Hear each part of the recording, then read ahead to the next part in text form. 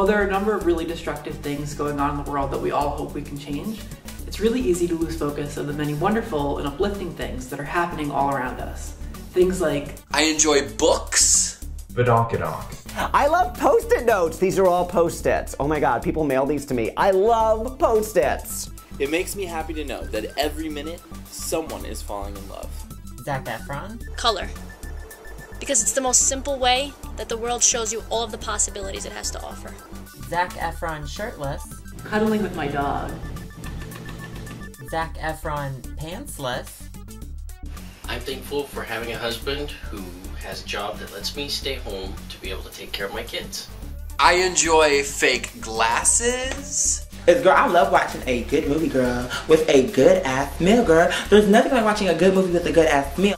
Change. Especially in times of need, people who may not see eye to eye will always band together to be such a positive force to get rid of the negativity. Still pretending that the food on my fork is an airplane when I'm putting it in my mouth makes me happy.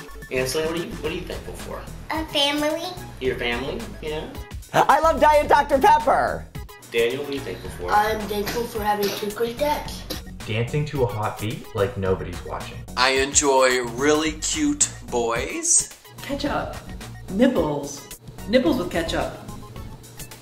Lauren Conrad books. Makes me so happy to go to the pool in the winter.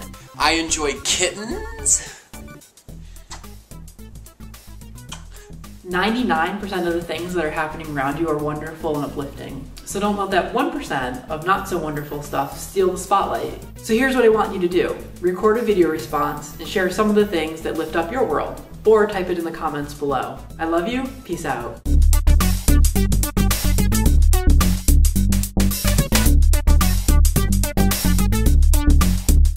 See ya.